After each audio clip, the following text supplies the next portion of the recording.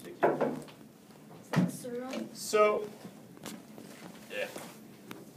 I'm just gonna mix it up here for a second.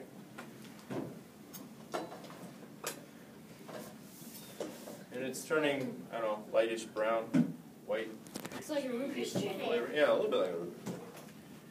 So we're gonna mix it, we're gonna mix it, we're gonna mix it. Eddie. Eddie. Eddie's going in close. Eddie, get it close up. It smells like vanilla, not milk though. It's old, so it's not reacting quite as fast. What is it gonna do? It's random explodes. it's not reacting quite as fast. Here, it. Oh. Whoa. Uh, ah. All right.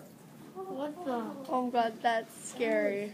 My goodness. Ice You're- cream. You're watching for evidence. That looks like a frappuccino. I need to hold on to the popsicle stick. No way. How is it not like exploding yet? Come here. Oh my Put your hand like this, but don't touch it. What do you feel? feel like a little bit of Feel, feel energy, heat. Yeah, All right, you're my, you're my eye witness.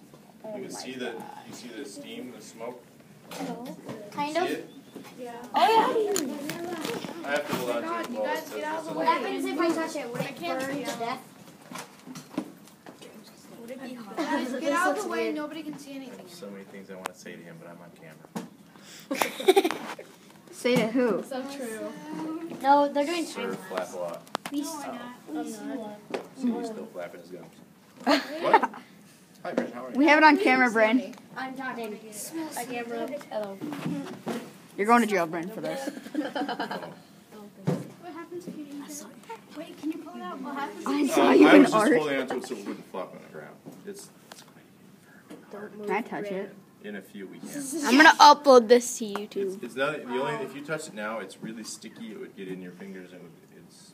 You know, have you ever had super glue on your fingers before? You know? Oh, oh, I burned myself with that one. So that's really the only reason why I don't want you to touch it right now. I think it came out pretty nice and smooth looking. It was kind of weird. Still a little soft. Not quite ready.